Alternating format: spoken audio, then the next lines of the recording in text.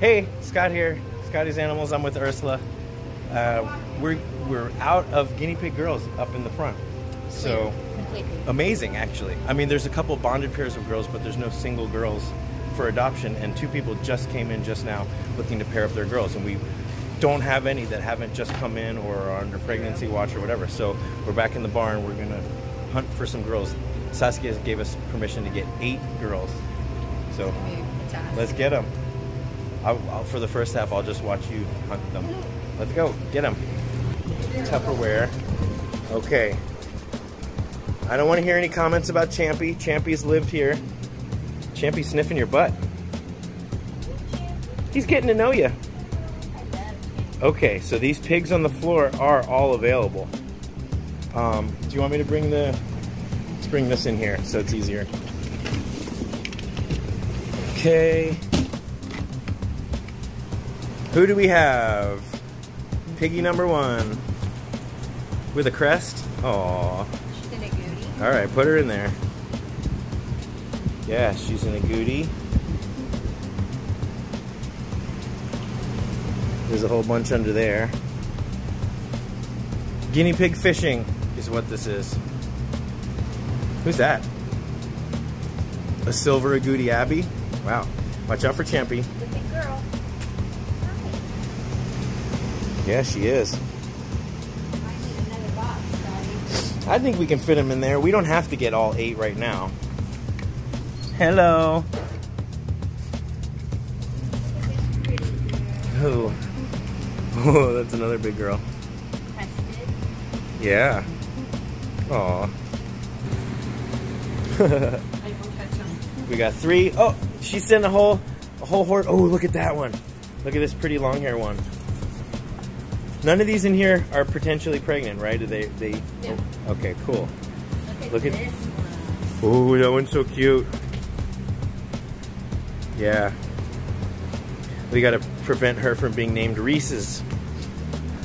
What's this flickering light? Oh, look at that. Oh, that one's so cute too. Let's see if I can. Yeah. Oop, I got her. I'm gonna go to, I'm gonna go to the tan one. look at this one. She looks like a little lion. Come on. Look at- Oreo. Oh no, a Reese's and an Oreo. I go for it. Forgive us, guinea pig gods. One, two, three, four, five, six, seven. One more. I want to go. I want to go. Let's get a gray one. Champy! Let's Oh. Champy squirming. Aw. Champy thinks he has thinks he's a guinea pig. Sorry, They're all lined up towards the back, like, don't touch me. Oh, they are. I want that one over there. The gray one. Can I catch that one? I doubt it. Ursula is on the prowl. Look at her on the hunt. Ursula is an apex predator. Oh, wow. The wolf, La Loba, has caught her prey.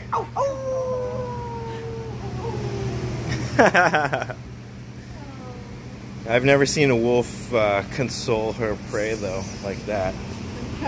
Okay, that's eight. All right. We could take a cart. Oh my goodness, this is heavy. Yeah, look at this fluffy butt. Everyone's gonna be all over this. Don't tell anybody anything. Oh, this picture's a fluffy butt. Guinea pig curls. One, two, three, four, five, six, seven, eight. Oh my gosh. Nine, ten. Okay. All right. Well, actually, I want to take this opportunity to talk about something that I've seen a lot in the messages and I've been getting messages about, and I've seen this actually a lot in the groups. People are saying that their vets are telling them that their guinea pigs are overweight. Guinea pigs can't be overweight, okay? If your guinea pig is eating the proper diet of 80% Timothy hay, a bowl of high quality pellets, and not too much fresh veggies, then they're not going to be overweight. It's better for guinea pigs to be plump and juicy. Now Ursula's doing my job. We're to get these girls up to the front. They're one step closer to finding their forever homes. Ursula's to try not to hit the tree. My hands in the cart at all times. This is fun. It's like a amusement park.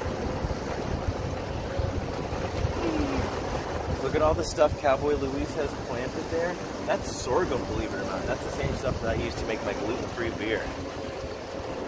All right, guys. We'll see you next time. Say bye. yeah, we're having too much fun. I'm about to fall out of the cart.